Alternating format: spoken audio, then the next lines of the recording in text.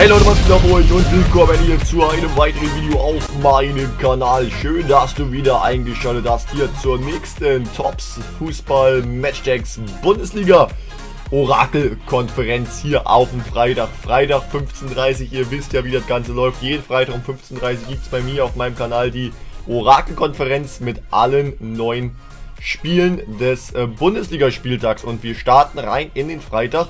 Meine Stimme ist noch ganz heiser vom äh, vom Hertha gegen Gladbach Spiel. Ähm, Freitag, wir starten heute rein mit Augsburg gegen Hoffenheim. Dann morgen Konferenz, sehr, sehr geil. Gladbach gegen Bayern. Mal gucken, wie die Gladbacher darauf reagieren. Die Bayern, ja, auch wieder letzte Woche souverän runtergespielt, das Ganze würde ich mal sagen. Wolfsburg gegen, ähm, gegen Leipzig. El Plastico.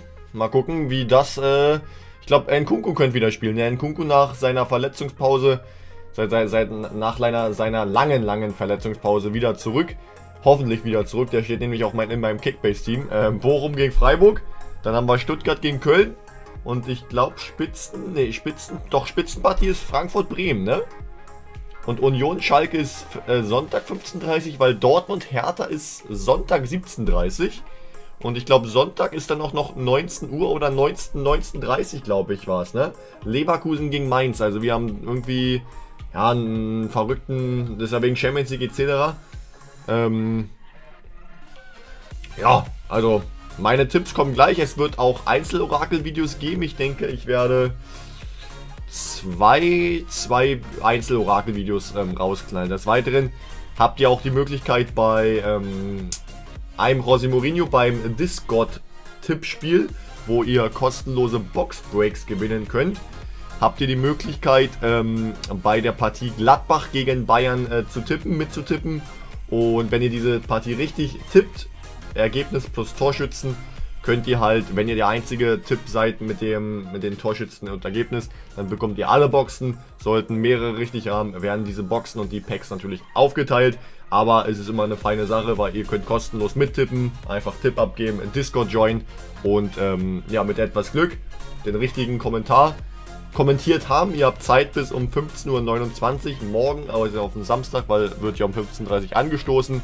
Und jetzt mache ich noch ganz schnell meine Tipps im Schnelldurchlauf und dann gehen wir auch schon rein in die Orakel-Konferenz. Lasst natürlich auch zu Beginn des Videos hier einen Daumen nach oben da. Am Ende gibt es die Orakel-Tabelle. Augsburg gegen Hoffenheim, sage ich, wird ein 1-1. Gladbach gegen Bayern wird ein 1-3. Wolfsburg gegen Leipzig wird ein 0-2. Bochum gegen Freiburg wird ein 0-2. Stuttgart gegen Köln wird ein 0-2. Frankfurt gegen Bremen wird ein 2-1. Union gegen Schalke wird ein 3-0. Dortmund gegen Hertha wird ein 1-2. Leverkusen gegen Mainz wird ein 2-1. Das sind meine Tipps. Eure Tipps in die Kommentare und denkt natürlich dran, bei Gladbach gegen Bayern auch nochmal separat im Discord mitzutippen, beim Discord-Gewinnspiel, beim Discord-Ratespiel, beim Discord-Tippspiel. Und dann gehen wir rein in die Orakel-Konferenz und starten mit wir starten mit Dortmund. Muss das sein? Niklas Süle, der Esel, Alter. Junge. Dortmund mit dem 1 zu 0 gegen Hertha BSC. Dann haben wir Yusuf Bautzen. Yusuf Bautzen, RB Leipzig mit dem 0 zu 1. Die Freigo Freiburger dürfen auch schießen, nämlich in dem Fall Niklas Höfer 0 zu 1 gegen den VfL Bochum. Und die Wölfe, die Wölfe Barton gleichen aus. VfL Wolfsburg mit dem 1 zu 1 gegen Leipzig. Manu Mutin, Borussia Mönchengladbach. Die Gladbacher somit mit der Führung gegen die Bayern, also auch nicht von, nicht von schlechten Eltern. 1-0 für die Gladbacher. Dann haben wir Oliver Christensen, ist erstmal in Ordnung, aber wir bräuchten noch eine normale, normale Hertha-Karte, um dieses Spiel zu drehen. Hünemeyer, Paderborn, Elias Bebu mit dem Doppelpack, Hoffenheim direkt mit dem Doppelpack mit dem 0 zu 2 gegen den FCA. Genauso der Doppelpack kommt auch von der Eintracht, von der Eintracht aus äh, Frankfurt, nämlich von Ansgar Knauf. Und dahinter ist es, Leute, es ist göttlich. Es ist göttlich, ich würde sagen, Doppelpack, Doppelpack Martin Dardai Kapi. Nein, äh, weiß ich nicht. Auf jeden Fall Hertha, Doppelpack. Ist auch egal, wer die Tore macht. Hauptsache Hertha dreht die Partie innerhalb der ersten Halbzeit 1 und 2. Ganz wichtig. Ganz, ganz, ganz wichtig. Halbzeit Nummer 2. Halbzeit Nummer 2 startet mit Adi von Leverkusen. Leverkusen in der 1 0 Führung gegen die Mainzer Aquaguma. Die Hoffenheimer machen da weiter, wo, ja, wo sie eigentlich nicht aufgehört haben. War jetzt das Sprichwort, aber macht keinen Sinn, weil es ist das 0 zu 3 und Hoffenheim ist jetzt nicht so gut.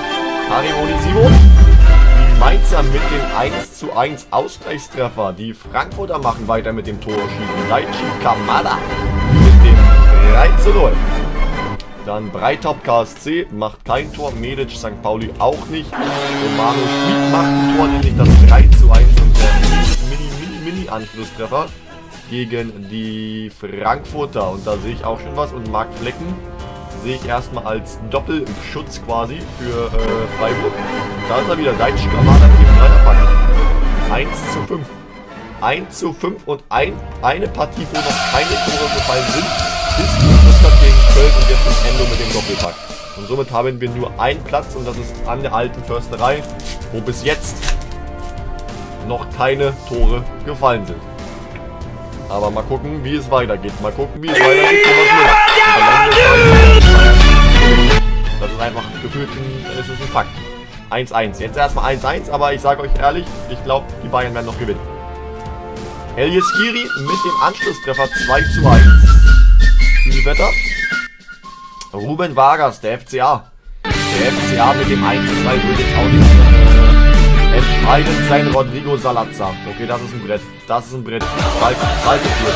Schalke führt. Dann wir Stuttgart. Stuttgart, Stuttgart mit dem 3-1 natürlich auch vom Tisch. Äh, Habe ich gesagt, die Bayern werden gewinnen. Es ist alles an Claire mit dem Doppelpack. Es ist das 3-1 für Gladbach. Und somit die ja, Gladbacher Führung und der Gladbacher Sieg gegen die Bayern. Die Leverkusener sind auch nicht unentschieden, sondern die Leverkusener auch den Doppelpack. Und somit werden auch die Leverkusener und gewinnen die Leverkusener mit 3 zu 1. Marc Flecken kommt hier weg und Oliver Christensen kommt hier nochmal weg, weil die Torhüter sind jetzt aus dem Spiel, weil es ist der Abpfiff aus und vorbei. Die Augsburger äh, verlieren mit einem 1 zu 3 zu Hause. Die Gladbacher gewinnen zu Hause nach der letzten, letzten, ja, letzte Woche, äh, nach der Katastrophe, dass man gegen Hertha BSC verliert, die ja eigentlich im Formtief ihrer, keine Ahnung, im Formtief der Form, Formtiefen äh, waren, die Berliner. Deswegen bin ich sehr gespannt, wie es jetzt diese Woche gegen Dortmund aussieht. Im Signal Iduna Park in Dortmund. Mal gucken, wie sich da die äh, blau-weißen Hertaner schlagen. Auf jeden Fall gewinnt Gladbach mit 3 zu 1 gegen die Bayern. Dann haben wir Wolfsburg gegen Leipzig 1-1. Die Freiburger gewinnen 0-1 gegen Bochum. Stuttgart gewinnt 3-1 gegen Köln.